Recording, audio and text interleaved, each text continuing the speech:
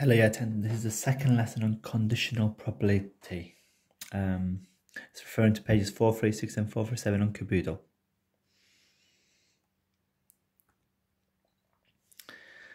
Um, we'll go through the textbook example first. Um, so,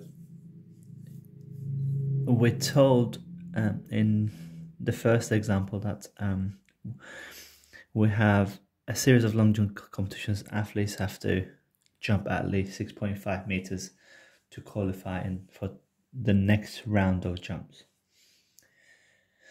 Um, and in the book, they've let Q be the set of athletes qualifying for the extra jumps. Um, and then we've got the set S, which is the athletes jumping over seven meters. So, first of all, we need to see that S is uh, contained in Q.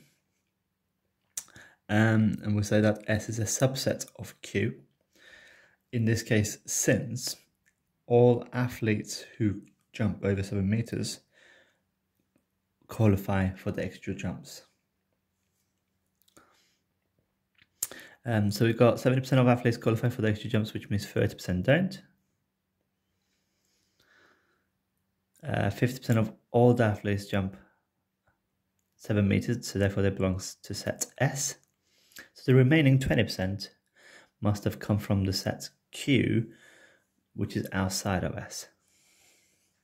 So those 20% uh, percent of athletes have jumped over 6.5 meters, um, at least 6.5 meters, and qualified, but less than 7 meters. So using this, we can now work out some uh, probabilities. Um, so here we ask, given that a person is qualified, what's the probability that they have uh, they belong to set S? So they make seven meter jumps. So we want the probability of S given Q. So that's the intersection divided by Q.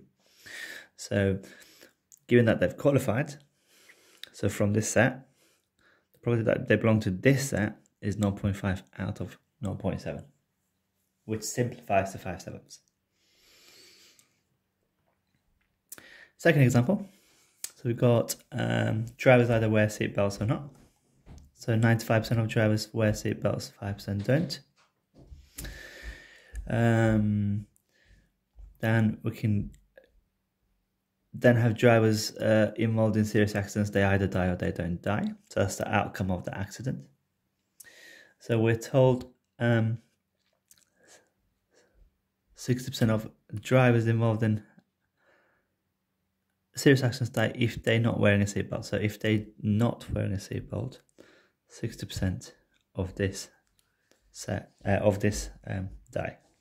Therefore, 40% don't. Likewise, we can do the top.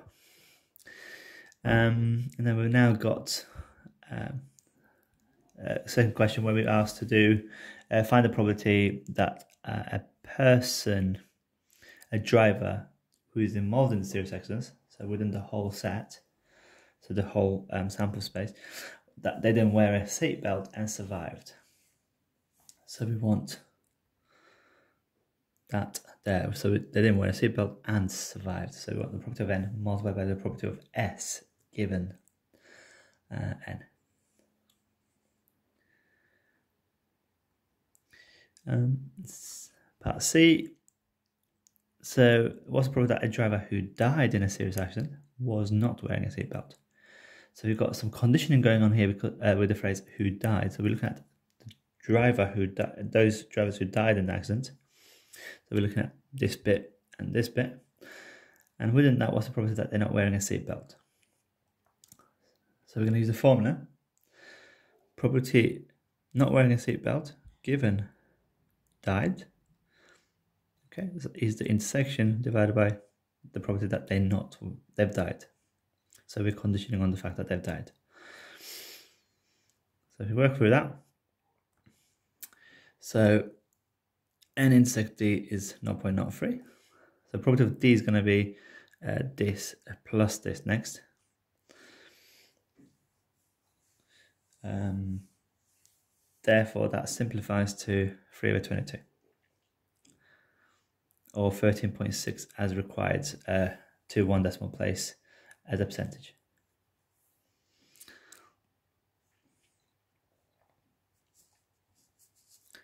So here's another example, just to get our heads around it. So in this example, we've got, uh, I made up, we've got uh, a gym who's categorized people in three categories.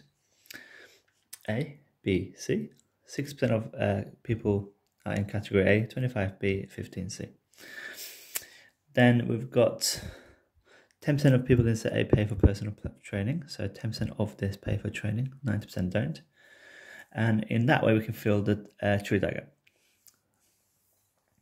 So we're told um, what's the property? We asked what's the property that a user chosen at random will pay for a personal trainer.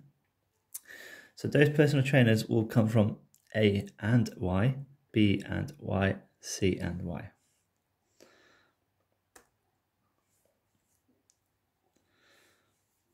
Because you're either going to be young and pay for training, middle aged or pay for training, and old or and pay for training, which gives you that.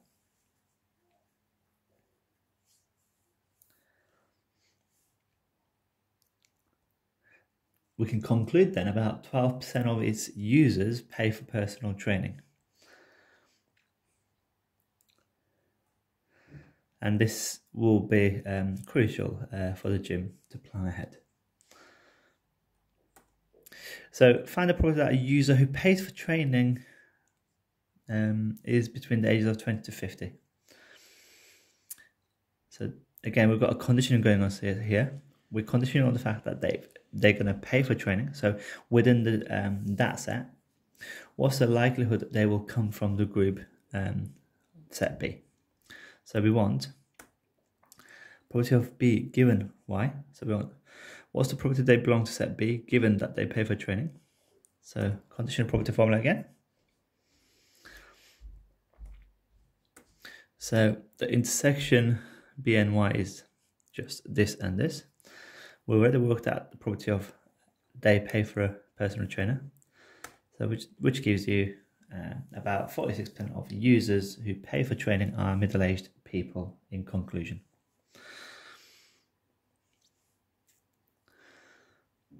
Hopefully that's enough for you to work. Uh, go ahead and complete the uh, exercises now. Um, if not, uh, please give us an email. Good luck.